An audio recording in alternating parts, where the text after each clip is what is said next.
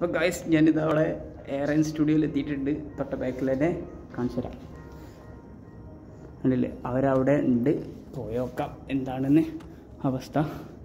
ഇത് അവരുടെ വളരെ എക്സൈറ്റഡ് ആയി ഞാൻ എനിക്ക് അവരെ കാണാനുള്ള ബുദ്ധിയുണ്ട് വളരെ അത്യ ഒരു എന്താ പറയുക ഒരു ആ ഒരു എല്ലാ ഫാൻസിനോടൊരു ഇഷ്ടം തോന്നില്ല മമ്മൂട്ടി മോഹൻലാലിനോടൊക്കെ.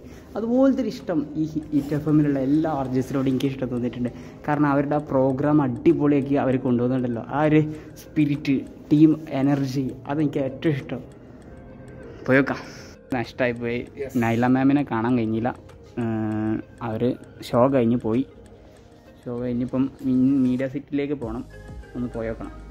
അപ്പോൾ അവിടുന്ന് കാണാമല്ലോ ഇപ്പോൾ ആർ ജെ ഫസലുവിനെ കണ്ടു. സാർ ഇപ്പോൾ പള്ളിക്ക് പോയതാണ്. ഞാനും പള്ളിക്ക് പോട്ടെ. നല്ല ഒന്നിറങ്ങട്ടെ ഇനി വന്നിട്ട് കാണാം. പള്ളിയിൽ നിന്ന് നിസ്കരിച്ച് കഴിഞ്ഞു. ഞങ്ങളെല്ലാവരും ആർ ജെ ഫസലു സാർ ഇവിടെ ഉണ്ട്. എന്റെ കൂടെ നിസ്കരിക്കാനുണ്ടായിരുന്നു. ഞങ്ങൾ സാറെ കൂടെയാണ് വന്നിട്ടുള്ളത്.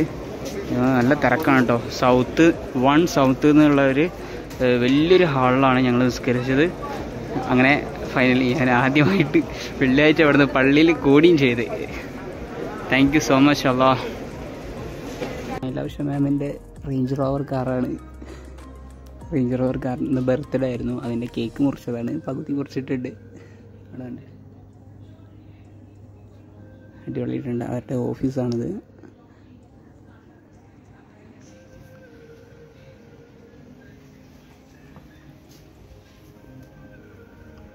അടിപൊളി ആംബിയൻസ് ഉള്ള ഒരു ഓഫീസ് നന്നായിട്ട് ഇഷ്ടപ്പെട്ടു ഈ ഓഫീസ് ഏറാൻ അതാണ് ഓൺ എയർ സ്റ്റുഡിയോ നേരെ മുന്നിലുള്ളത്. ഇത് എഡിറ്റേഴ്സിന്റെ റൂമാണ് ഇത് മാസ്റ്റർ കൺട്രോൾ റൂമാണ് നമുക്ക് ഫസൽ സാറ് നമുക്ക് ഓൺ എയർ സ്റ്റുഡിയോ ഫസൽ സാറല്ല? ഫ്രണ്ട് ക്യാമറയാണോ ബാക്ക് ക്യാമറയാണോ ഫ്രണ്ട് ഫസ്ലു സാറല്ല ഫസ്ലു ആണ് സാധാരണഗതിയിൽ ഹിറ്റ് എഫ് എമ്മിന്റെ സ്റ്റുഡിയോ മീഡിയ സിറ്റിയിലാണുള്ളത് അല്ലെങ്കിൽ നോളജ് വില്ലേജിലാണുള്ളത് ഇത് ഇപ്പോൾ നമുക്ക് ടെമ്പററി ആയിക്കൊണ്ട് എക്സ്പോ തുടങ്ങി. ഇപ്പം എക്സ്പോയുടെ ഒഫീഷ്യൽ ബ്രോഡ്കാസ്റ്റർ കൂടിയാണ് A R N A R എന്ന് പറഞ്ഞാൽ അറേബ്യൻ റേഡിയോ നെറ്റ്വർക്ക് അതിൽ പാർട്ടായിട്ടുള്ള ഒരു റേഡിയോ ആണ് ഹിറ്റ് എഫ് എം അതിന്റെ തൽക്കാലത്തേക്കുള്ള ലൈവ് സ്റ്റുഡിയോ ആണ്. ഇവിടെ നിന്നാണ് ലൈവ് പ്രോഗ്രാംസ് എല്ലാം ഇവിടെ നോക്കി കഴിഞ്ഞാൽ എല്ലാ വ്യൂസും കാണാം.